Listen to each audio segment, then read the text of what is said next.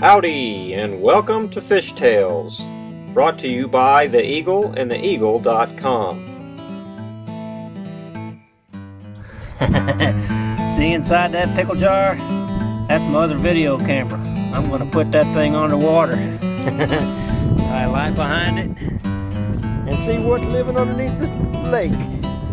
After Sunday's test of my camera, uh, it was definitely uh, needing some adjustments. So I strapped on a stick and put a couple of jigs out in front of it and dropped it in the water on Tuesday.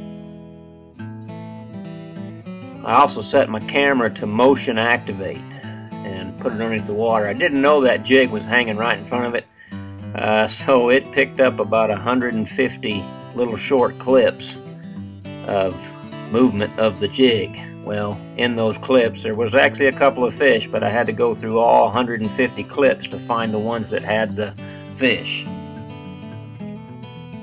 This first fish was actually on Sunday. You can just barely see a shadow pass through it.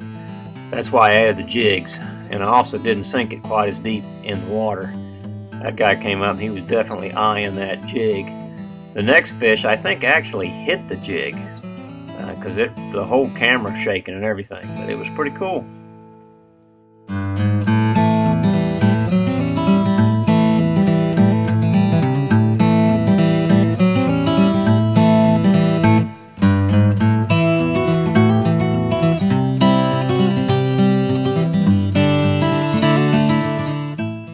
I think I'm going to try rigging up some live bait or some other bait of some sort instead of the jigs going through 150 clips was pretty time consuming.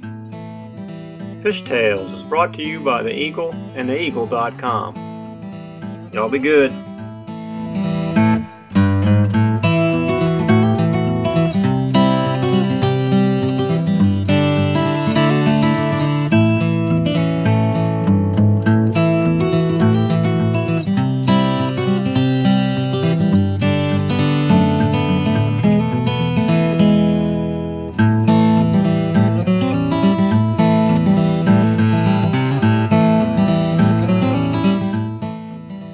Ahead, buddy. Hit it. Hit it. Come on. Hit it.